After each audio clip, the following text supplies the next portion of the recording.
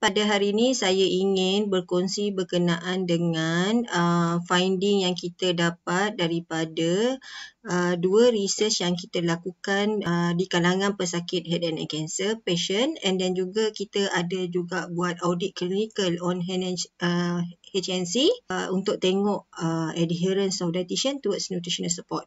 So satu kajian ni uh, dia merupakan satu kajian observational uh, bertajuk a prospective observational study on the progression of nutritional status, nutrition impact symptoms and energy intake among head and neck cancer receiving radiotherapy with or without chemotherapy in National Cancer Institute. And satu lagi study yang berkaitan dengan head and neck cancer patient ni adalah uh, merupakan satu randomized pragmatic control trial study uh, to compare the efficacy of ONS supplementation with standard dietary advice on nutritional outcome in head and neck cancer outpatient undergoing treatment in radiotherapy clinical uh, clinic sorry.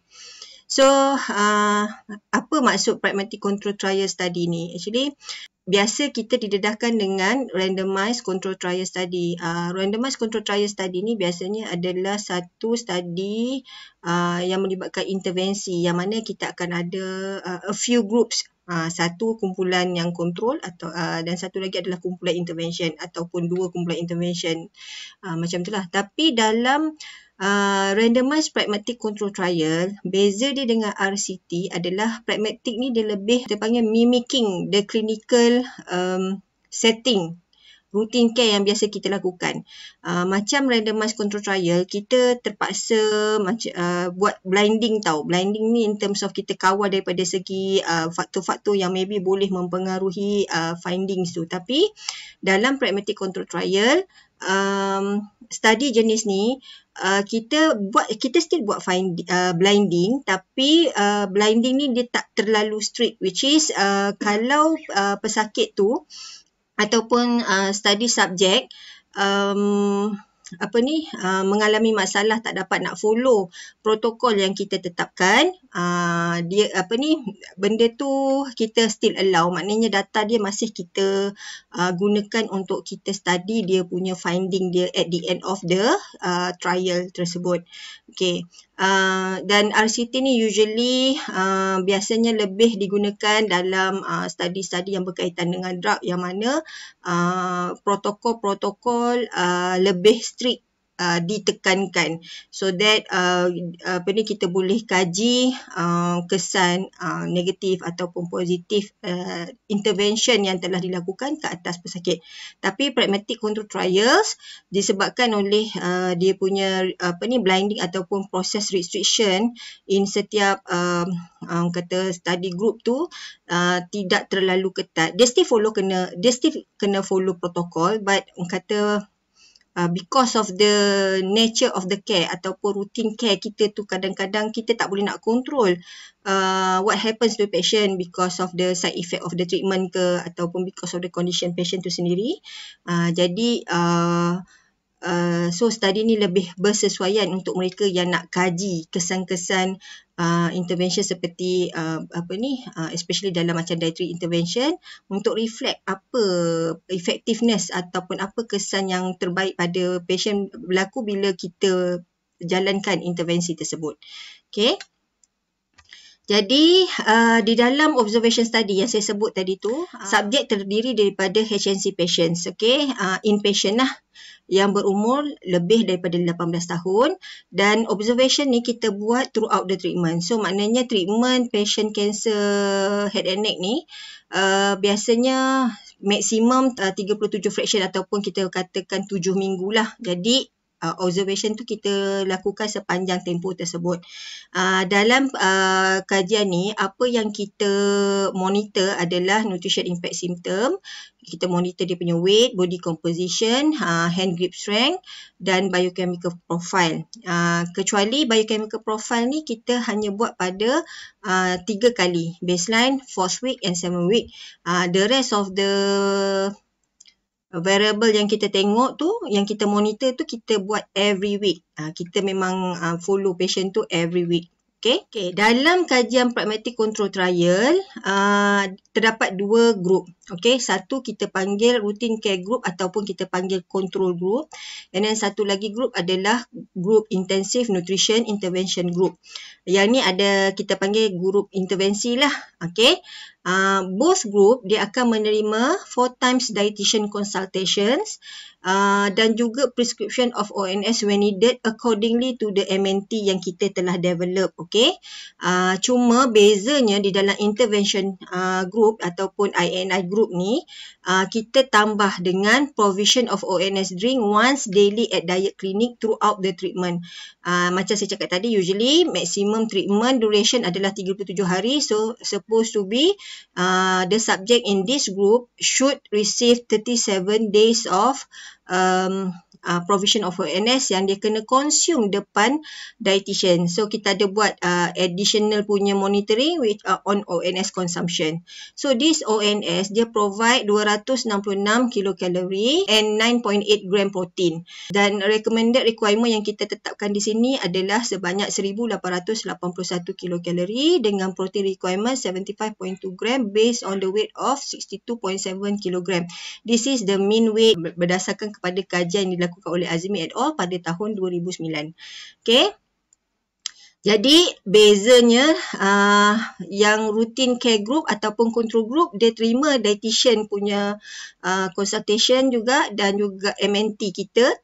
Uh, tapi uh, dalam INI group kita bagi susu sekali. Uh, walaupun uh, setakat sekali sehari. Setiap hari sepanjang tempoh treatment dia. While routine care dia perlu dapatkan sendiri. Okay Uh, dan melalui kajian ni kita dapati 91% of the study subject actually comply to kita punya uh, kata protokol tu. Maknanya dia memang datang ambil uh, susu tu setiap hari lah.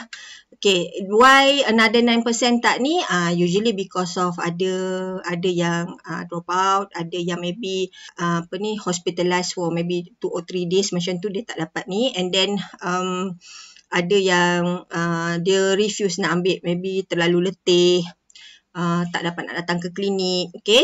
Uh, ataupun macam tiba-tiba hari tu rasa macam nak muntah tak mau minum okay?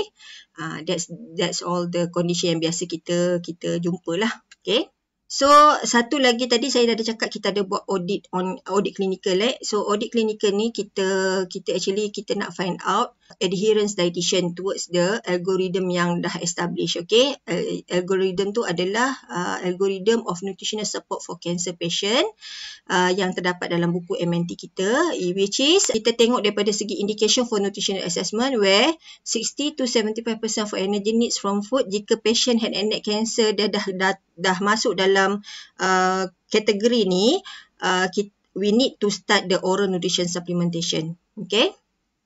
So kita nak tahu uh, dietitian kita uh, dietitian kita adhere ke tak.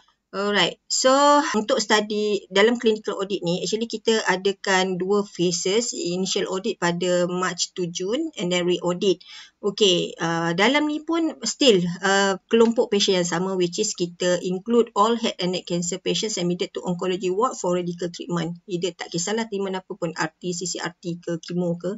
Okay, dan exclusion criteria adalah for head and neck cancer patients admitted for symptomatic or neoadjuvant treatment or uh, head and neck cancer patient yang dah memang start on tube feeding. Yang tu kita dah tak masukkan. Okay, and then the population size ni adalah semua head and neck cancer yang admit to ward without within audit period. Uh, and then data collection ni uh, done by kita punya audit team members comprises of dietitians um, sendiri.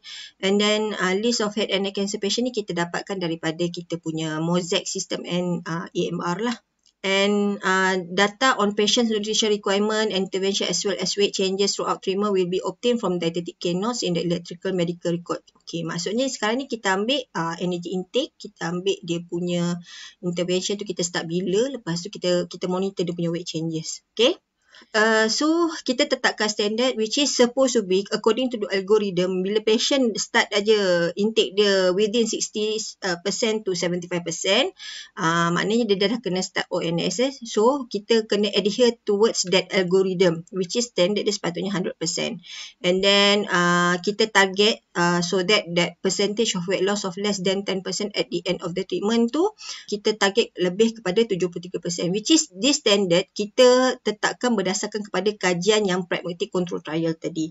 So berdasarkan kepada data yang uh, data yang kita dah ambil, kita kita dapati patient yang kita patut capai bila kita start intervention uh, ataupun nutrition intervention ni sepatutnya kita Uh, pasti kita nak capai uh, percentage patient yang mengalami pengurangan berat badan uh, kurang daripada 10% uh, at the end of the treatment mestilah lebih 73%. Okay.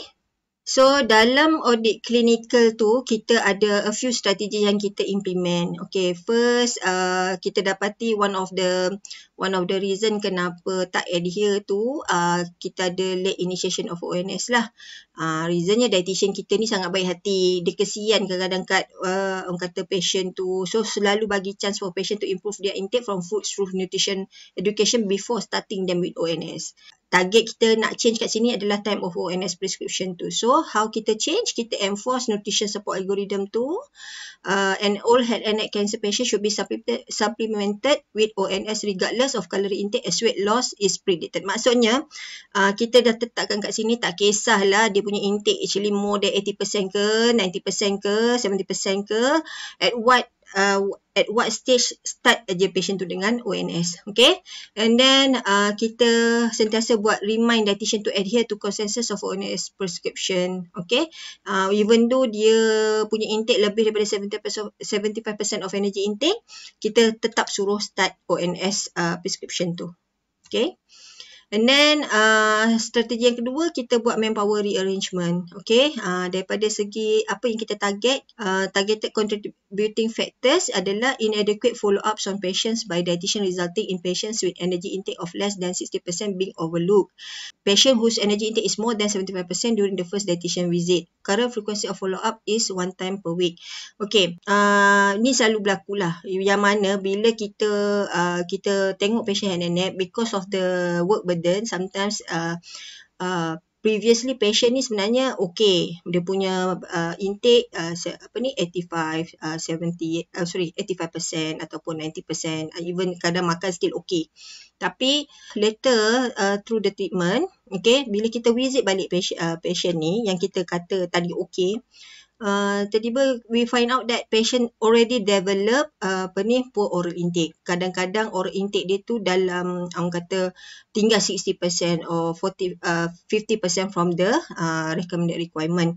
Which is kadang benda ni berlaku within dalam satu minggu. Mana perubahan tu boleh drastik. Ha, dia depend on patient punya condition lah.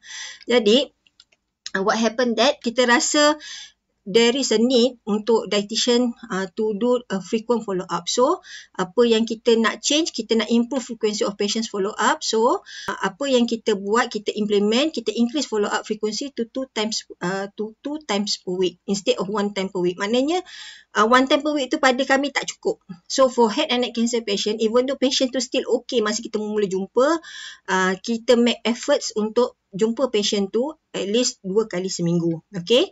And then kita train uh, our department PPK to check on whether patients are able to finish up meals provided during meal audit.